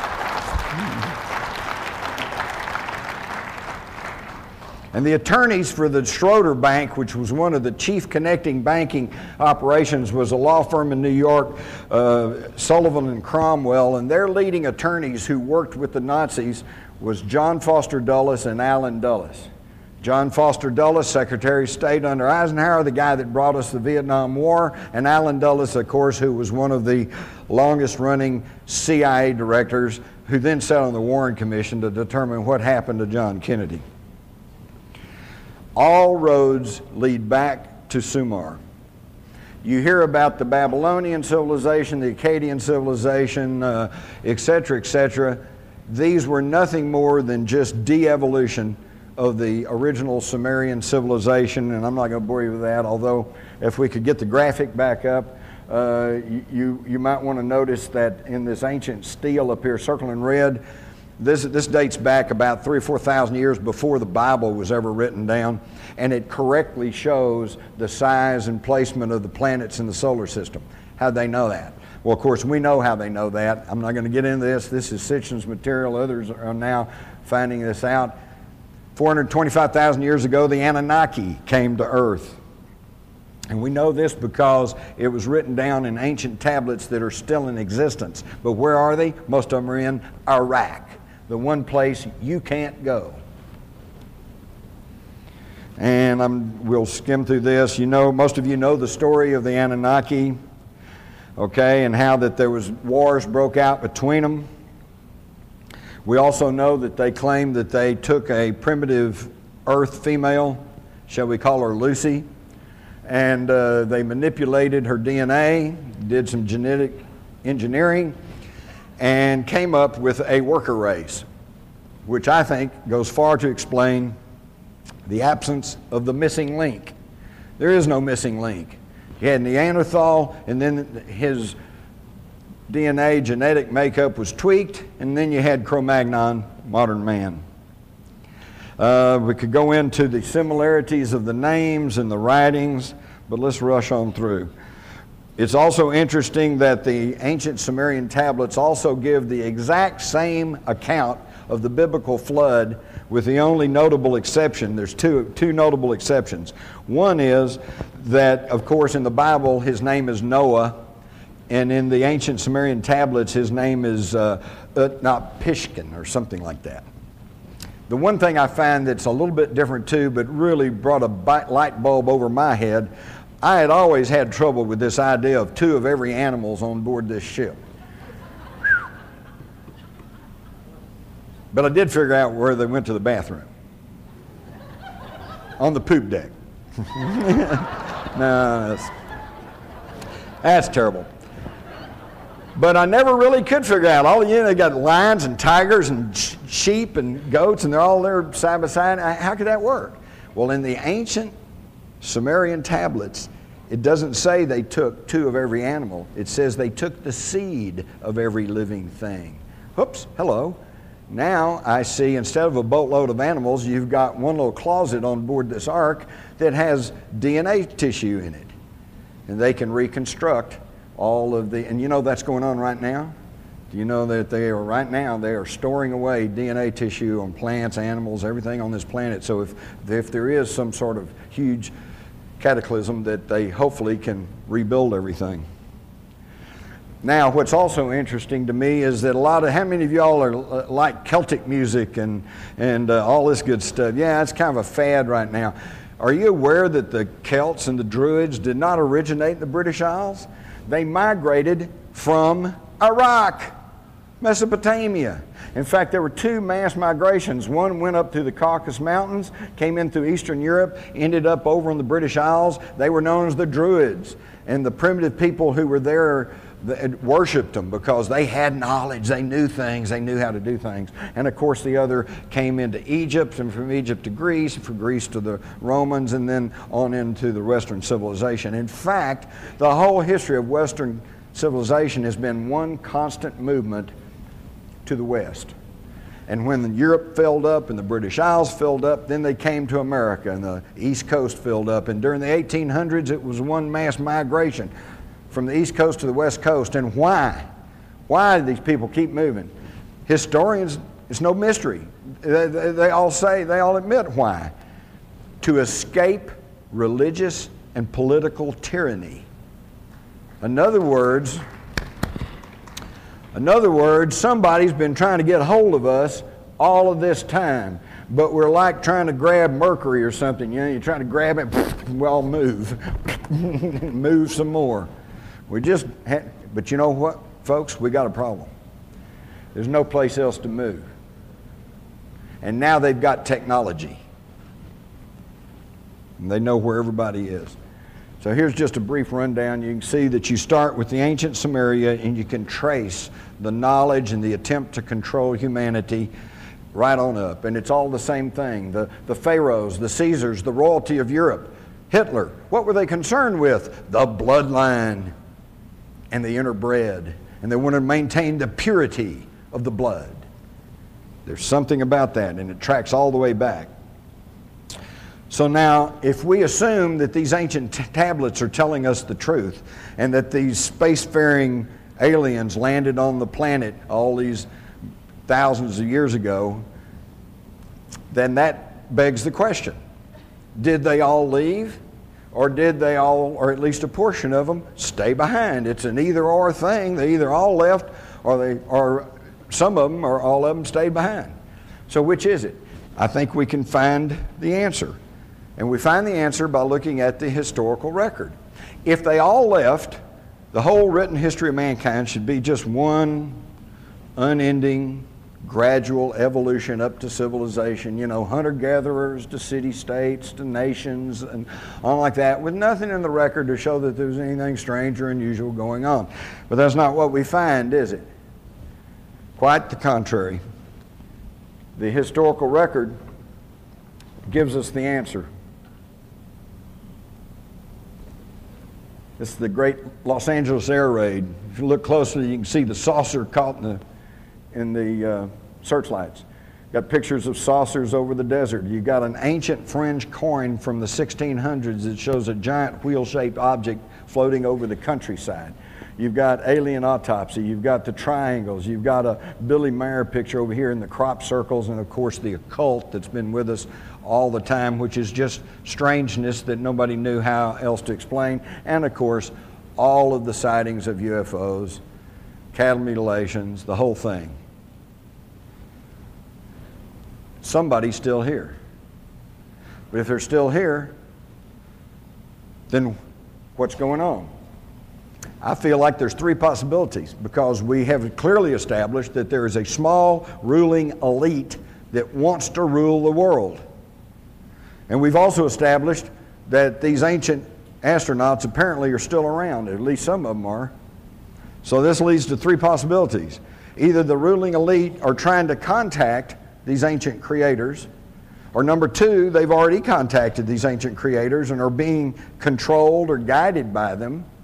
Or number three, they are the ancient creators, the ancient serpent kings of legend, the ones who have been trying to corral and control humanity from the get go. And now they're getting close to realizing this because now they have the technology to do it. So now we have to ask ourselves these people, these same bloodlines, these same people, what are the odds that the Bushes, who is the leader of the free world, and the Windsors, who are the lead, leaders of the, what's left of the British Empire, what's the odds that, that these, these two families that are blood related, so you're actually talking about one family, are, are running the, the Western civilization? What are the odds of that? More details and ruled by secrecy. And I thank you for your time, and I hope I've helped put some of this together for you.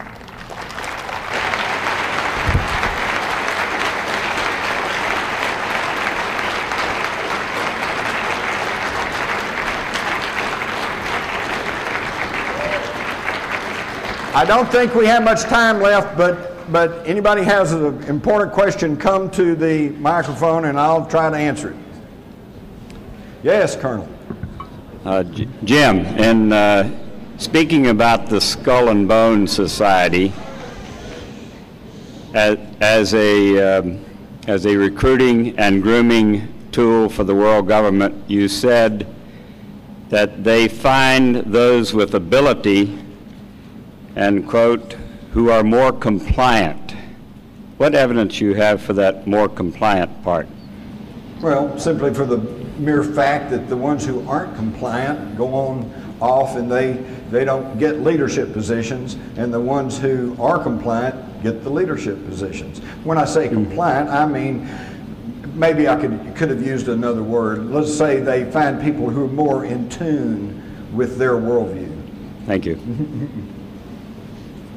Imply, im- compliant kind of implies that they order them around. It's probably not that direct. Good presentation, Jim. Thank you. Thank you. Uh, I wanted to comment on your um, United States note that Kennedy was attempting to uh, put into existence. I did want to mention that that was going to be backed by silver, so there was some backing behind it. Yeah. And also, the um, executive order number that Kennedy wrote to establish that, if people want to write this down, was Executive Order 11110, and you can check that out, where it established the U.S. note. And the thing that I wanted to make comment about is that LBJ did not choose to continue uh, uh, publishing and minting the coin that, that Kennedy had started because this, this would have killed the golden goose that the Federal Reserve had in position. Uh, it would have, and that was just too much of a status change for this country and for the very people you've been talking about. Exactly. That's one of the reasons they wanted him in. Exactly. Kennedy. But I from another book uh, that you wrote, I would like for you to maybe just briefly go over uh, the coup of 1934 and how that affected our current status. Right. If you could take just a synopsis. Thank you. I'll try to make. Feedback. Okay, try to make this brief. He asked about the coup of 1934. This was well established, little publicized, and you never heard about it in your history classes. In 1934, one year after Hitler had taken over total control as dictator of America, some of the wealthy families in this country, okay, the Rockefellers, the DuPonts, the Carnegies, they decided we needed to have something like that here. And they approached a former general with the Marine Corps, General Smedley Butler, and they proposed to him that they would put up the money to uh, fund a whole uh, uh, several hundred thousand revolutionaries, and that we would have a coup in the United States of America. And they wanted Smedley Butler to be the new dictator, military dictator of the United States. Smedley Butler, to his everlasting credit, said to himself, uh, "This is treason." And he didn't really say anything to them, but he went along with it for a little while until he could figure out who was behind it, what all they were doing. Then he went to Franklin Roosevelt and told him what was going on. And of course, Roosevelt had a real bad problem. If he got up publicly and said this is what was going on, it could shake all the financial institutions of this country to the bone. The Federal Reserve System would be in a shambles. There could even possibly lead to some sort of civil war. So what they did was leak this story to the papers. Most of the papers around the country never even bothered to report on it. New York Times did report on it. Congress held some hearings for about two years until everything died down. They basically confirmed everything that Smedley Butler told them, but then that's where it was left. It was like, huh. A lot of these people who were involved in this fled the country at the time and only later came back. So don't believe that there can't be an attempt at a coup in this country because there was in 1934. Thank you for bringing that up. Thank you for this presentation today, and thank you for being, having the courage to bring this information forward to us. And I'd like to know if you've ever heard of a document called the Protocols of the, I wonder if you've heard of a document called the Protocols of the Elders of Zion? Yes. Let me, let me address this real quick. I address this in Rule by Secrecy. He's asking about the protocols of the learned elders of Zion. First and foremost, yes, it is a hoax that was perpetrated by the Tsarist police uh, during World War I in an effort to try to uh, stigmatize the Jews in Russia at that time and uh, gather support for the Tsar. However, the tenets of this thing are too serious, too detailed, too thoughtful. If you'll go back, you'll find that the, some of the alteration they did was change Sion, S-C-I-O-N, to Zion, Z-I-O-N, in an effort to try to lay it off onto the Jews. Sion, of course, brings us into the Priory of Sion, and uh, several scholars have decided that the protocols are legitimate, but they are a document of the Illuminati. not the Jews. Okay? So, what you have to do, my advice to you is to try to find a copy of the protocols and read them. It is really chilling because it's just like the report from Iron Mountain. They can claim it's a hoax, but when you read it, you know this is not a hoax. It's a game plan for taking over the world. But again, let me emphasize this was not done by the Jews. Okay? The Jews have been as victimized by these people as everybody else. Yeah, I have one correction on your timeline. You said Eisenhower and Dulles uh, got us into the Vietnam War. Eisenhower kept us out of Dien Bien Phu when the French were trying to get us in, uh, get, it into, get us into the war. He stated that it's the wrong war, the wrong place, at the wrong time. The guy who got us into the war was JFK. Well, I would disagree with you on that, although what you said essentially is correct. The reason that they didn't want to go in with the French is because they didn't want the French in there. They wanted to wait and let the French get run out so that we wouldn't have any competition when we moved in. And all I can tell you is, is that uh, C.L. Sulzberger, the New York Times, said that John Foster Dulles personally told him that he created SEATO to give the power, uh, the president the power to intervene in Southeast Asia.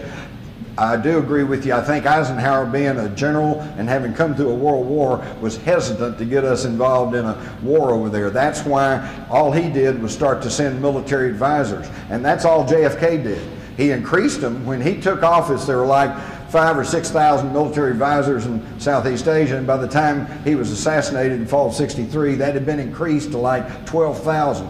So there were, but they were military advisors, okay?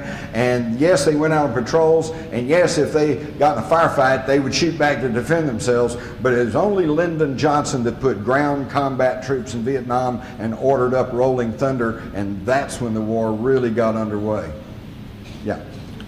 Uh, Jim, I was wondering if you could offer any comments on FEMA, um, also its authority and possible uh, place and role in, in, I in got a question for you all. Since when is it the job of FEMA to investigate the tragedy of the space shuttle? And since when is it the job of FEMA? Who, who investigated the World Trade Center bombing? Was it the New York Fire Department? No. Was it the New York Police Department? No. Was it the FBI? No. It was FEMA. And what did FEMA do? They hired 26 structural engineers, rushed them through there, let them go there for a day and a half, wouldn't let them look at most of the stuff, already were shipping the metal out of there, would not allow them to do tests on it. The head of the panel even complained, but then based on what little they got to see and what they were told, they finally issued a report and said, well, airplanes hit the building, I guess the temperatures got high and they all collapsed. There was no investigation and it was all covered up by FEMA. What about constitutional power or possible place in this whole power game? Constitutional power? Well, you know, we have a constitution, and, and let me, don't, don't anybody get me wrong, you know, the uh, form of government that we pay lip service to in this country, I will be the first to agree, is the finest that has ever been put together in the history of this world. Our problem is not the Constitution, of the Bill of Rights, the Declaration of Independence. Our problem is that we're not adhering to it. We're not following the Constitution of this country. When the President of the United States gets up and says, My lawyers have informed me that I don't even have to consult with Congress to go fight a war over in the Middle East, he obviously has not read the Constitution of the United States because it plainly states that only Congress shall have the power to declare war.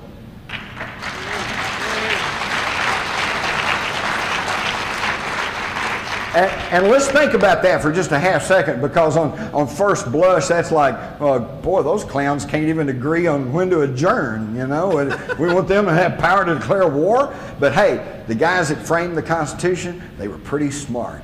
Because, yeah, there's a bunch of grafters and grifters and malcontents and bozos up in Washington. But if three quarters of them all agree that we need to go to war, then maybe we need to go to war. And if they can't agree, if they can't get three quarters of a vote of Congress, then we probably don't need to be going to war. So it's a pretty smart system. And our problem is we're not following it. Thank you. Hi, Jim. Hi. Um, David Icke had um, a big uh, sold out conference in uh, London uh, recently um, talking about exactly the same subjects. Um, and uh, he also spent a bit of time on um, the evidence for um, you know, reptilian um, oriented c- c- control of um, you know the top of this negative pyramid, if you like. You know, um, what sort of input are you getting on the same subject? Um, it's interesting because when you follow the evidence, you just kind of get there. But let me tell you something. I met David Icke, and I really, I kind of like David. And uh, he, it's interesting because I wasn't even aware of him uh, until at the last moment writing Rule by Secrecy. And, uh, and yet we were both following the evidence, and we were both running pretty parallel. The big difference is this. Along with my newspaper background, I also augmented my low reporter's pay by working and dabbling in public relations and advertising. And I know enough about public relations that I don't believe I'm going to really win friends and influence a lot of people by publicly calling the Queen Mother of England a 200 year old reptilian cannibal. it's not to be saying it's not true, it's just I'm saying. I'm just saying I'm not saying that. Thanks. Uh, Have I got just one very quick one, if that's okay? Um, you were talking about uh, intervention in um, evolution. Um, what inf- what's information have you got on this um, thing about rhesus negative blood and uh, um, possible link with alien abductees as well? The possible link with what? The the idea that there shouldn't be people with rhesus negative blood in theory. Oh, well, there's all kinds of strange things. I'm not, uh, uh, you got to understand, folks, I, I, I don't claim to be a huge expert in particularly anything. I, I'm, I'm the last of a dying breed. I'm a generalist, okay? I know a little bit about a lot of things. And I want to tell you something, I think that's sorely missing in this country today. The problem we have in this country, thank you, is I know doctors and lawyers and, and you know professional people, computer experts, and they're brilliant. They're well educated and they're very thoughtful, but they got tunnel vision. All they know is what they know. In fact, some of the most closed-minded people I've ever run into are medical doctors. and and the thing is, so where is there a place in our society for a philosopher? Or for or a generalist. Somebody knows a little bit. Somebody's got to step back and look at the forest instead of inspecting the trees all day. And that's what I'm trying to do. I'm not going to tell you I got it 100% right, but this is what I see. Thanks, Thank Jim. Hi, I was just going to thank you, Jim, for being a generalist and doing our homework for us. um, what I think is really frightening is that most Americans aren't aware of what is in the Homeland Security Act, including myself. And- Including Congress. They don't know what's in there. and I was going to ask you, I had heard something that they were going to be keeping track or making a list of what library books we check out. And I was wondering if that was part of the Homeland Security Act. yes, it is. And they can go into your library and question your librarian to turn over your records. And under the law, she cannot even tell, she's subject to prosecution if she informs you that they're investigating you. Thank you. I'm telling you, what you don't know can hurt you. That's scary. We got time. We, we got two more. One more. We got time for one more. Sorry. Yeah. Hi. Uh, have you ever considered this uh, war against Iraq is not over oil? Uh, that because Colin Powell is going to is to show proof of uh, Iraq uh, tie-in with Al Qaeda. So maybe if we get to Iraq, we'll get to Osama bin Laden. No, if we want to get Saddam bin- bin Laden, we need to go to Saudi Arabia. There's where the problem is. They are the ones who have financed militant Muslims all around the world. They are the ones who have financed Salim bin Laden. And by the way, I gotta, I got to say quickly three things that you have to understand. I mentioned these to understand what's going on right now. Who put George W. Bush in the oil business? Who put up the money? Salim bin Laden, Osama bin Laden's older brother, put George W. Bush in the oil business, had extensive holdings down in South Texas. It's all been written about in Texas, but you haven't heard about it. The Bushes and the bin Ladens are like that, not only in business wise, but socially. In 2000, George Herbert Walker Bush and the family went to Saudi Arabia and visited with their good buddies, the bin Ladens. What do you think the odds are of that? Number two thing you have to understand is that I've already mentioned is that Prescott Bush was an unrepentant supporter of Hitler at a time of war. Not just a Nazi sympathizer, he was working to provide money and materials to our enemy in a time of war. The, the acorn never falls too far from the tree. And three, you have to understand that the Bushes and the Windsors are the same bloodline. And once you understand this, everything starts taking on a little bit different view. And I thank you all for your time and patience.